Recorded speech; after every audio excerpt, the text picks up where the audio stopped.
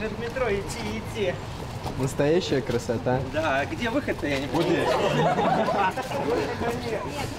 Блогер Михаил Светов вышел на свободу после 30 суток ареста. Встречать его на выходе из спецприемника на окраине Москвы приехали соратники по незарегистрированной либертарианской партии России. Ранее Пресненский суд столицы арестовал Светова за выступление на встрече с независимыми кандидатами в депутаты Мосгордумы 16 июля на Трубной площади, обвинив в повторном нарушении правил проведения массовой акции. Что власть пытается запугать. Она не понимает одной простой вещи, что вот это вот оно не пугает, оно делает злее. И я из камеры вышел гораздо злее, чем я в нее попал. И это относится не ко мне, не только ко мне, я уверен, это относится и к Котову, это относится и к Кириллу Жукову, Егору Жукову, всем тем людям, которые попали под этот а, каток репрессий абсолютно ни за что. Светова задержали 30 июля на выходе из здания мэрии Москвы после провала переговоров о согласовании с либертарианской партией акции в поддержку независимых кандидатов в Мосгордуму, запланированной на 3 августа. Организаторы хотели провести митинг на Лубянской площади. Власти ультимативно отправили протестующих на проспект Сахарова. Светов назвал свой арест местью за отказ от предложения мэрии. Несогласованная акция на Бульварном кольце Москвы закончилась многочисленными задержаниями.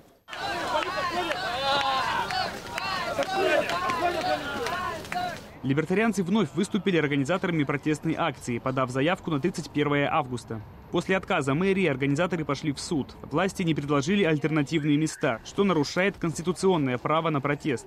С этим согласился Тверской суд. На апелляции Московский городской суд признал отказ законным. Вообще ответчик ни разу не ссылался на законы. Там была такая история по понятиям. Ну уж понимаете, мы не можем согласовать, у нас тут 1 сентября на носу.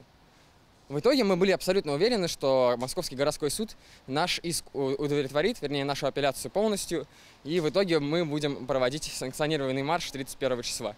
Политик Любовь Соболь, тем не менее, накануне объявила о проведении шествия по Бульварному кольцу 31 августа. Там же планируют выйти с одиночными пикетами кандидаты в Мосгордуму от КПРФ.